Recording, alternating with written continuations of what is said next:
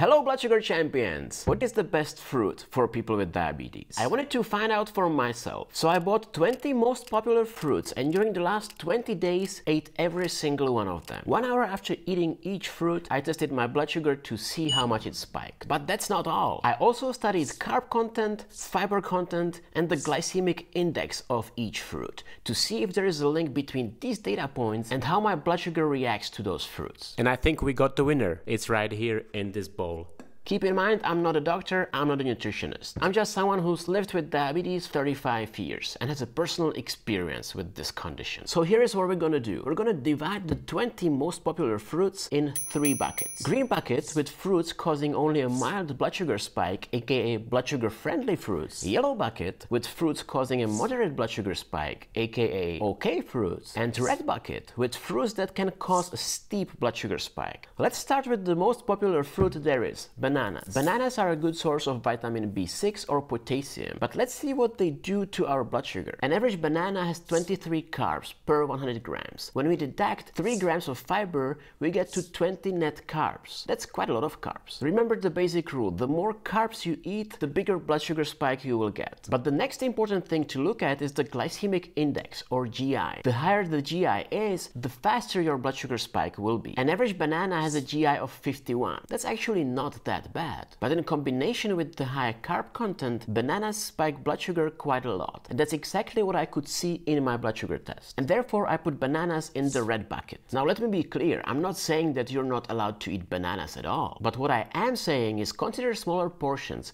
anytime you're eating any fruit from the red bucket. Eating half a banana is perfectly fine, but you don't need to eat three of them, right? Plus, if you are an insulin dependent diabetic like me, pay close attention how much insulin you need for that banana and when exactly you should take that insulin. Next up are apples. Apples are a great source of vitamin C and many important minerals. Plus, they are much lower in carbs than bananas. An average apple has 14 carbs per 100 gram, and when we deduct 2 grams of fiber, we get to 12 net carbs. Not bad, but not that great. For me personally, fruits that have less than 10 net carbs per 100 grams are great. Fruits between 10 and 15 net carbs are okay, and that's exactly where apples land. But the next important thing to look at is the glycemic index. The general recommendation of the American Diabetes Association is going for foods with GI of less than 55. For me, less than 55 is okay, but less than 40 is where I want to be. That's my sweet spot. And apples have a GI of 39, which is actually very good. But when I tested my blood sugar after eating apples,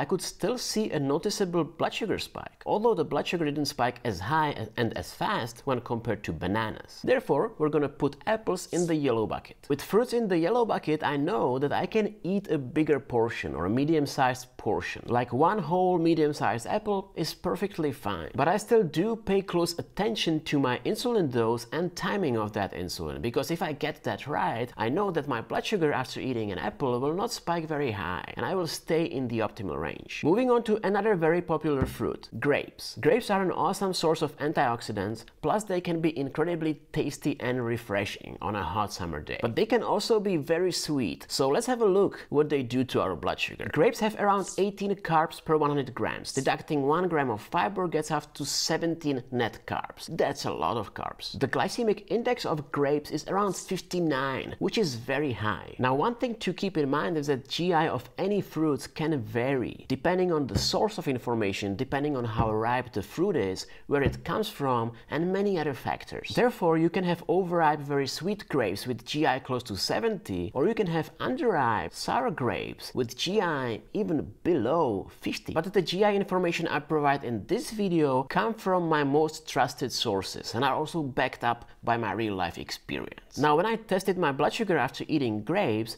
I could see a steep blood sugar spike within less than 40 minutes, and therefore I put grapes in the red bucket. Next up, and one of my personal favorites, strawberries. Fresh strawberries are very sweet and tasty, but they contain 90% of water, so their carb content is actually very low. Every strawberries have around 8 carbs per 100 gram. Deducting 2 grams of fiber gets us to 6 net carbs. So we might be looking at an amazing blood sugar friendly fruit here, but let's have a look at the glycemic index first, before we make the conclusion conclusion. And here we're looking at the GI of 39, which is right around the upper limit of my sweet spot. When I tested my blood sugar after eating strawberries, I was pleasantly surprised. I did see a very mild blood sugar spike. No big deal at all. Therefore, I put strawberries in the green bucket. And with the fruits in the green bucket, I'm not concerned with the portion size at all. I'll simply eat as much as I want. I will just make sure to count carbs and take the right dose of insulin for it, depending on my carb to insulin ratio. Now I know many people who like to blend strawberries in a smoothie. I know this tastes great, but here is a word of warning. When you blend those strawberries or any other fruit, you break most of the fiber and therefore you will increase the net carb content as well as GI of that fruit. And you will get a bigger and faster blood sugar spike from drinking a strawberry smoothie compared to eating just whole strawberries. Next popular fruit we're gonna talk about are oranges. Now we all know they are loaded with vitamin C, antioxidants and nutrients. But are they blood sugar friendly? An average orange has about 12 carbs per 100 grams.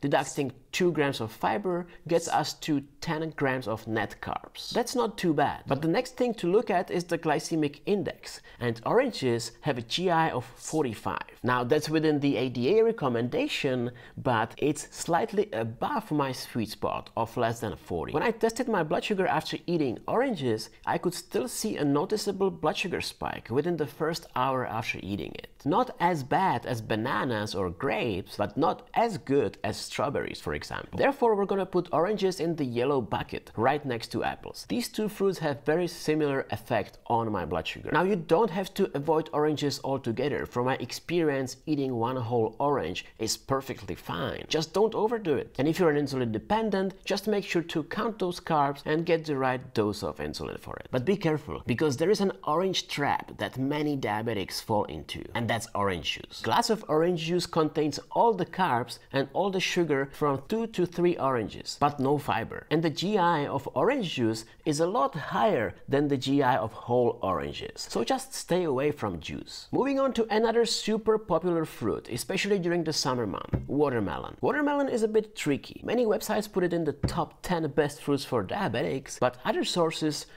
put it on the list of the worst fruits for diabetics. So who should we believe? Well, let's test it for ourselves. Watermelon has only about 8 carbs per 100 grams. That may look really good, but what we need to consider is that watermelon is 92% water and it has very little fiber. Therefore, those carbs from watermelon will get to your bloodstream very fast. And that's exactly what the glycemic index of watermelon shows us. We're looking at a GI of 76, which is by far the highest of all the fruits on the top 20 list. When I ate a small bowl of watermelon, my blood sugar spiked fast, but not very high. It went from 100 to 150. But when I ate a bigger bowl, I could see a spike to 200s in only 30 minutes, although I took my insulin with it. And that's a big no-no for me. Therefore, I put watermelon in the red bucket. I don't want to discourage you from eating watermelon altogether, but please don't eat too much of it. Portion control is key with this fruit. Another thing you can consider is eating the watermelon as a dessert after a meal rich in fiber and healthy fats. If you do that, your body will not be able to process the sugar from the watermelon that fast. Now I know we didn't have many blood sugar friendly options in the most popular fruits,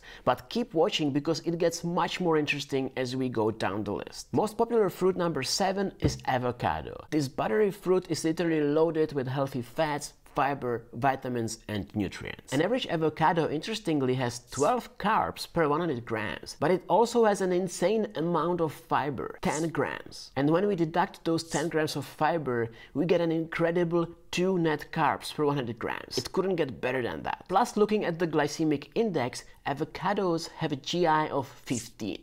That's also incredible. I ate avocado multiple times during my testing and it hardly impacted my blood sugar at all. I could not see any noticeable blood sugar spikes, not even after eating a couple avocados at once. And therefore, all things considered, I put avocado in the green bucket, without a doubt. I simply eat as much avocado as I feel like eating and I don't need any insulin for it. I just love these bad boys. But one thing I would warn you about, especially if you're on a diet, is that avocado is very calorie dense, calorie rich food. A whole medium avocado has 240 calories, mainly due to healthy fats, which is quite a lot. I personally don't care about calories that much because I'm not trying to lose weight right now. But it's something you might want to consider if you are in a different situation. Now let's dive into another super popular fruit, blueberries. The tiny powerhouses are packed with antioxidants. Blueberries have approximately 14 carbs per 100 grams, and after deducting 2 grams of fiber, we get to 12 net carbs. And that falls slightly on the higher side of my preference, close to apples. The glycemic index of blueberries is 53, which is moderate compared to other popular fruits, but it's definitely a lot more than I was expecting to see, to be honest. Now, it's a common belief that all the berries are a good option for people with diabetes, and that they don't spike blood sugar that much. But when I tested my blood sugar after indulging in a bowl of blueberries, I could see my blood sugar spiking quickly and gradually to higher than what I would want to see. And therefore, I'm placing blueberries in the yellow bucket. Now, I figured as a type 1 diabetic, I can eat a full cup of blueberries without my blood sugar spiking too high. But I need to be careful about two things.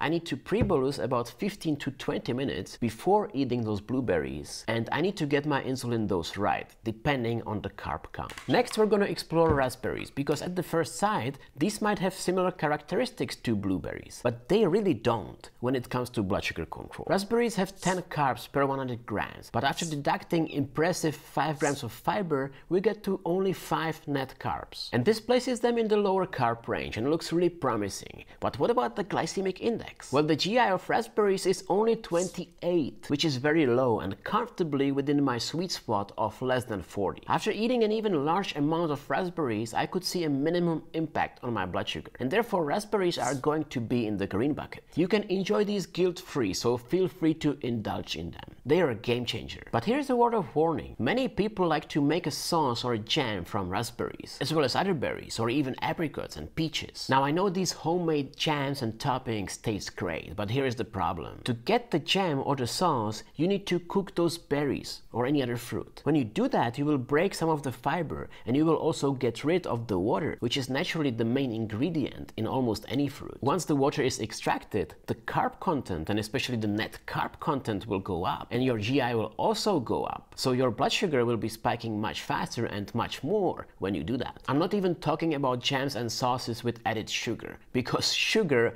changes this into a completely different food category and we cannot call this fruit anymore. So stay away from that. Next up are peaches, the juicy and sweet summer delights full of vitamins and minerals. Peaches contain about 15 carbs per 100 grams and after deducting 2 grams of fiber we get to 13 net carbs and that places peaches on the higher end of my preferred carb range. But the glycemic index of peaches is 42 which is not that bad actually. And while testing peaches I saw a noticeable blood sugar spike but not as steep as with fruits in the red bucket and therefore peaches are going into the yellow bucket. I was actually pleasantly surprised because peaches did even better than blueberries for me. Here is the thing, I recently received a comment on YouTube from one of you highlighting a great rule of thumb. The commenter had an interesting observation and he said the darker the food is, the lower the glycemic index and the brighter the food is, more likely it will break down faster into glucose. This is a great comment and it seems to be very accurate because in 95% of instances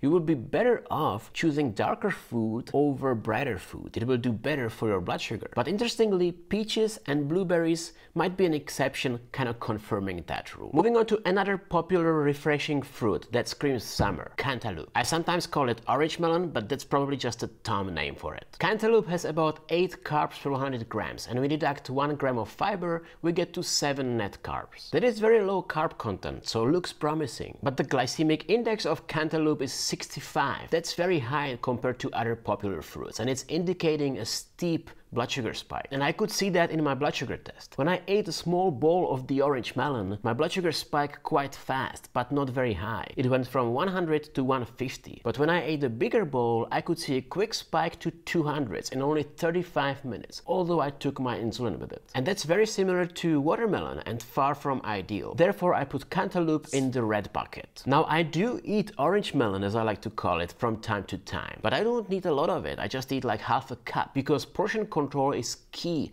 with the fruits in the red bucket. I also make sure to carb count and take my insulin well ahead of time. And with cantaloupe, it can be 20 or even 25 minutes before eating that fruit. Next, let's talk about mandarins. These are kind of similar to oranges in terms of vitamin content and also the color, right? But one reason why I used to prefer mandarins to oranges was very simple, because they're easier to peel. They also tend to be a bit sweeter than oranges. So let's see which bucket they land in. Mandarins have about 14 carbs per 100 grams, and after deducting 2 grams of fiber, we get to 12 net carbs. That falls on the moderate carb range. Not great, but not ideal. Now the glycemic index of mandarin is an okay 47. Not in my sweet spot of less than 40, but also not above 55, which would be too high. When I tested my blood sugar after eating mandarins, I saw my blood sugar rising gradually for about an hour, maybe a bit less. The blood sugar spike was not as steep as with watermelon or cantaloupe, but it was definitely noticeable. And therefore we're gonna put mandarins in the yellow bucket. They had a very similar effect on my blood sugar as oranges, although they tasted a bit sweeter. Guys, we still have 8 more popular fruits to go through and 5 of them will fall in the green bucket, meaning I can eat as much as I want without my blood sugar spiking too much. But before I go to the next fruit, I want to let you know how you can connect with me. The easiest way to do that is my Patreon, where you can chat with me one-on-one -on -one and watch bonus content. I do respond to every question from my patrons, and that's why spots in the Patreon group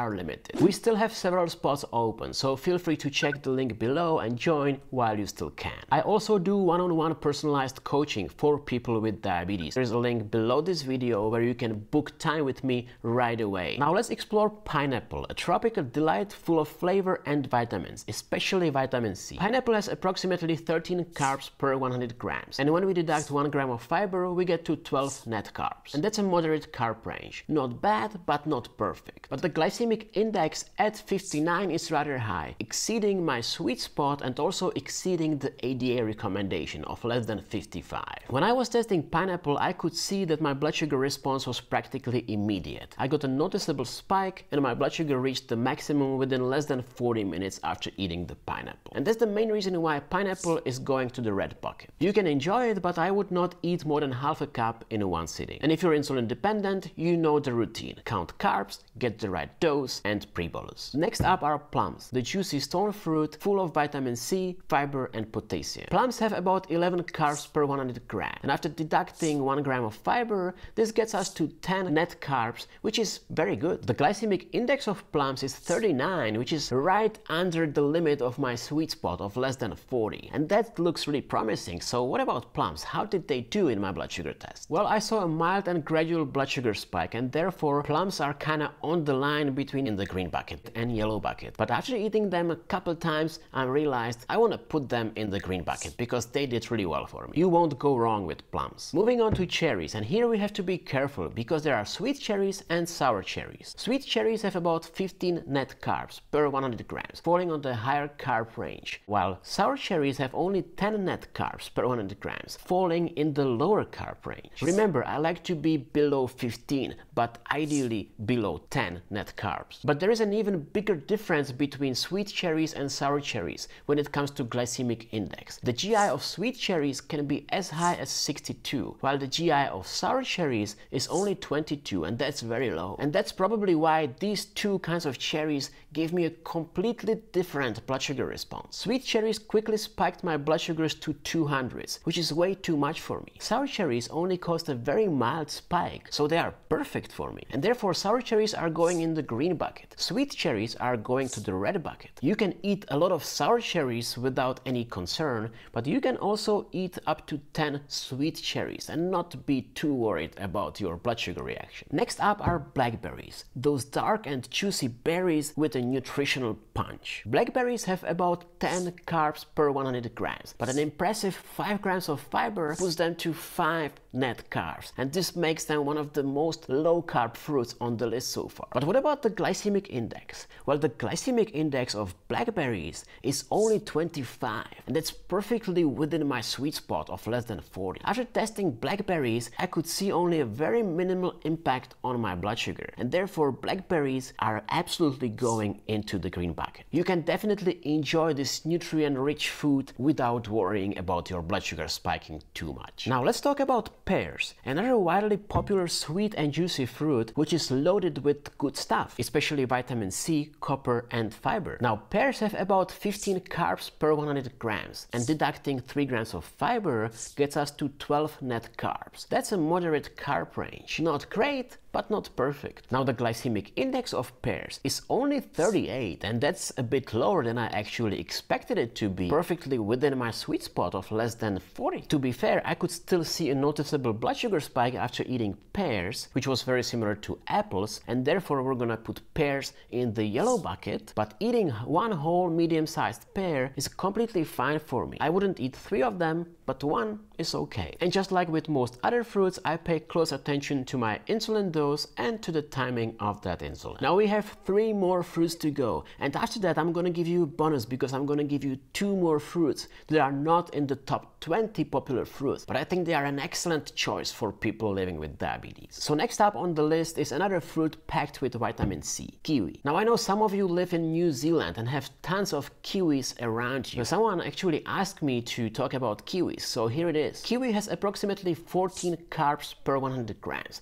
Deducting 3 grams of fiber gets us to 11 net carbs. That's pretty good, slightly above the 10 or below 10 where I would like to be for a low carb fruit, but it's okay. Now the glycemic index of kiwi is 53, which is within the ADA recommendation of less than 55, but it is above my sweet spot of less than 40. Therefore kiwi is probably not bad for you, but it's just not the best blood sugar friendly option. I could see a decent spike after eating ripe kiwis, and that's why I put kiwi in the yellow bucket as well. As a type 1 diabetic, I can eat about two whole kiwis without my blood sugar spiking too much, but I need to make sure to get insulin depending on the carb content and pre-bolus by about 15 to 20 minutes. For those non-insulin dependent, I would say enjoy kiwis, but only in moderation to make sure your blood sugar stays under control. Now let's talk about grapefruit, which looking at the data seems to be a great option for low stable blood sugar. Grapefruit has only 11 carbs per 100 grams and after deducting 2 grams of fiber, we get to 9 net carbs, which is perfectly within my sweet spot of less than 10. Now the GI of grapefruit is 25 and that's also very good because your blood sugar will not spike very fast after eating grapefruit. And I was even able to confirm this assumption during my testing. There was only a mild impact of grapefruit on my blood sugar. Therefore grapefruit for me is going clearly to the green bucket. But I know that this verdict of mine is going to be very controversial because you guys like to talk about grapefruits in the comment section. There's millions of comments about grapefruit. And the reason why is that grapefruit should be avoided by people who use certain drugs because grapefruit blocks certain enzymes and transporters that the body needs to metabolize those drugs. Now this is not the case for me so I can keep indulging in grapefruit but if you take other medication and are not sure pick this topic up with your doctor before consuming grapefruit. Now before I show you the two bonus fruits that are not on the top 20 list but are my secret weapon for fighting diabetes we need to talk about the elephant in the room, mango. Mangoes are another tropical delight full of flavor and vitamins, especially vitamin E. And let me be clear, I love eating mangoes. But mangoes have about 15 carbs per 100 grams, and after deducting 2 grams of fiber, we get to 13 net carbs. That's a moderate carb range, not bad, but not great. The glycemic index of mango is 55, which is exceeding my sweet spot of less than 40, and is right on the upper range of the ADA recommendation of less than 55. Now, in my blood sugar tests, I could see a rather steep blood sugar rise from mango. My blood sugar reached the maximum within 45 to 50 minutes after eating it. And therefore, mangoes are simply going to the red bucket. But again, I have to admit I absolutely love mangoes and I eat them quite often in my breakfast bowl. And to be able to do that, I need to pre-bolus well in advance, ideally 20 or even 25 minutes. Now I noticed that dried mango is getting more and more popular. And I want to talk about it because the drying process of any fruit changes the glucose response of that fruit. When you dry mango slices, you will get rid of most of the water content. And when you do that, number one, the net carb content goes up because you took out all the water, but you kept all the sugar. So while the 100 grams of fresh mango has 13 net carbs, 100 grams of dried mango can have up to 39 carbs, which is five times more. The other thing that will happen is that the glycemic index will go down because you took out the water. It will take longer for the body to process those carbs and get them into the bloodstream. And that's why your blood sugar after eating half a cup of dried mango will go up five times more than from eating half a cup of fresh mango. But it will also go up a bit slower. And a similar thing will happen when you dry any fruit. So keep that in mind. It's kind of fascinating, isn't it? I'm obsessed by studying all these little things that impact our blood sugar. And that's why I started working on a brand new project, the Blood Sugar Academy. The Blood Sugar Academy is my exclusive coaching program, which will help you live your life the way you want while achieving consistent blood sugar and lower HbA1c. If you want to learn more, just click the link below and register your interest. I will make sure to share more information with you once the program is launched. But now, two more fruits that I promised that I absolutely love. They both have less than 10 net carbs per 100 grams and a GI of less than 35. And they both fall in the green bucket. Number one is apricots. Apricots have around 9 carbs per 100 grams and 2 grams of fiber, which gets us to 7 net carbs. Now that's amazing, but combined with the GI of 34, it gets even better. Here is what my blood sugar does after eating apricot. You can see a noticeable but very mild and rather slow spike that is easy to control for both insulin dependent and non-insulin dependent people with diabetes. And bonus fruit number 2 is guava. South American guava is so tasty, I love to eat it, and it has 14 carbs per 100 grams. But out of that 14 grams, 5 5 grams is fiber. So we get to 9 net carbs only. That's on its own is very good and combined with the GI of only 25, it gets even better. Here is what my blood sugar did after eating guava. Again, a noticeable but rather mild and slow, easy to control spike. Now you probably clicked on this video because you want to know what I think is the best fruit for people with diabetes. We have many fruits in the green bucket right now, but which one is best? Here it gets a bit tricky because I think it's very important that the fruit we call the best is in the green bucket. But it's also very important that you like and enjoy eating it, that it has good taste and you just enjoy eating it and you're craving that fruit. Otherwise, you will just not eat it. And I think any of the fruits in the green bucket can be the best fruit for you. For me, the absolute winner is avocado because for me, there is nothing that beats a homemade guacamole spread on a fresh blood sugar friendly bread. And if you wonder what I think the best bread for diabetes is, click here and watch this video next. I will see you there. Ciao.